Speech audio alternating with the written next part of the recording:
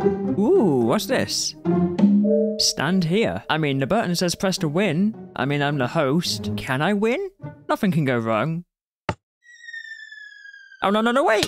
Ow. Hello, everyone, and welcome to the video. Uh, wait, wasn't there a... Um, was I dreaming? Is this real life right now? Welcome everyone to another video. Today I'm going to show you how to make buttons do things when there's no redstone. Wireless buttons, basically. We're going to do some wireless buttons today.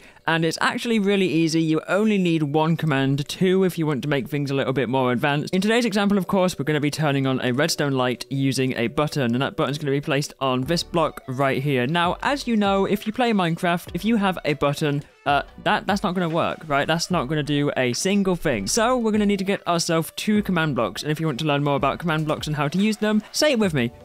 Click the eye in the top of your screen. You're welcome. So you want to get yourself a repeating command block. That is the bluish purple one. Set it to repeat, unconditional, always active.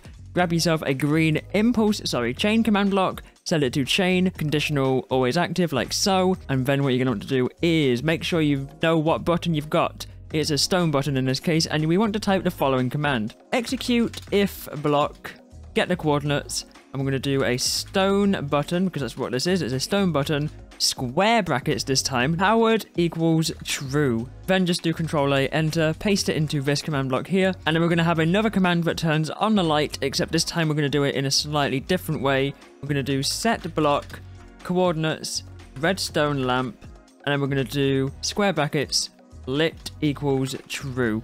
That is false.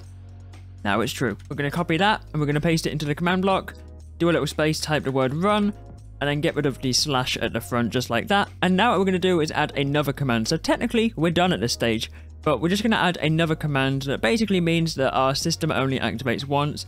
We're going to do set block coordinates stone underscore button, and we're going to do facing up like so, face floor enter.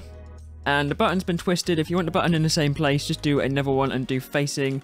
I'm going to do east, and now the button's facing the right way. Then we're going to just place this one into here like so. And now, magic. Now I know what you're saying. Happy, how on earth do you get this back to normal? Just update it.